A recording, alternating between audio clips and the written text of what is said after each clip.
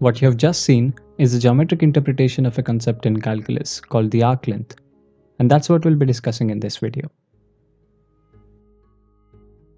Consider a particle A which is initially sitting at the origin of our coordinate plane and eventually tracing out a cycloidal path for the period of say 4 seconds. The parametric function r of t defining this curve takes in time as input and spits out a vector with coordinates t minus sine of t and 1 minus cosine of t representing a point on the curve. So the parametric function maps inputs along the time axis to a point on the plane along the curve.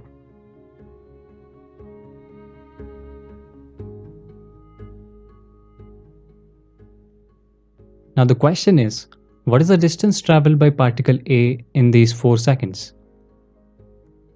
Or in other words, what is the length between the endpoints along this curve? And to help us answer this question, we'll take help from our imaginary, loyal, and mathy friend, whom I'll be addressing as particle B. Particle B travels according to the instructions given to it. For example, if you were to instruct the particle B to travel along a straight line for 4 seconds, such that the distance it travels after t seconds is exactly 0.05 t cubed, particle B does that for you. It is loyal and mathy for a reason.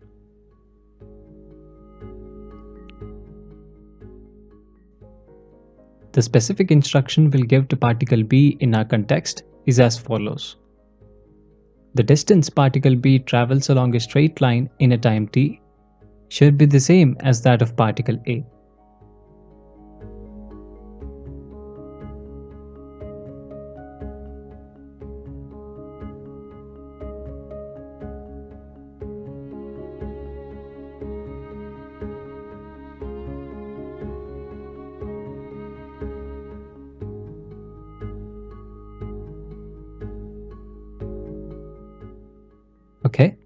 is the instruction clear? Now the issue is, this instruction doesn't make sense because we don't know what distance particle A would travel in a given amount of time.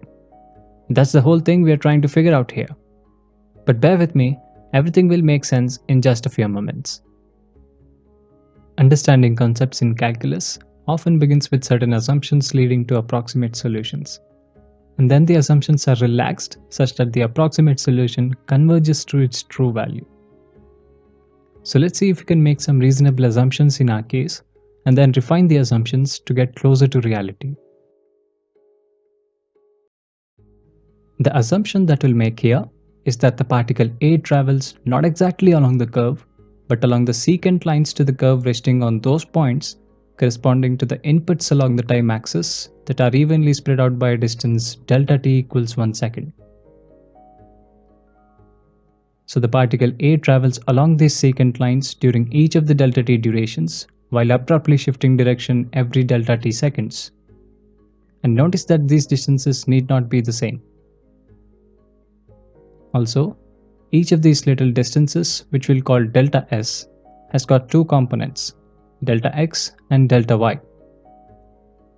Applying the Pythagoras theorem, delta s is the square root of sum of squares of these individual components. So, given this secant line assumption and our previous instruction, a loyal friend particle B tries to figure out at what constant velocity it should travel during each of these delta t durations such that the distances it travels is exactly the same as that of particle A. Velocity is the ratio of distance to time, delta s over delta t. Substituting our previous expression for delta s, the velocity during each of these delta t durations is the square root of delta x over delta t whole squared plus delta y over delta t whole squared. If we were to graph the velocity of particle B as a function of time, it is going to look like this discontinuous step graph. It stays at a constant value for delta t seconds and discontinuously jumps to a different value every delta t seconds. Each of these distances traveled by particle B can be expressed as the product of velocity during that interval times delta t. So, summing up all these little distances can be seen in a whole different perspective as summing up the areas of rectangles on this velocity graph. The width of each of these rectangles is delta t, and the height is given by the velocity during that interval. And if you have done some calculus, you would probably be guessing where this video is heading towards. There'll be a lot going on on the screen right now, so you'll have to pay close attention throughout the screen.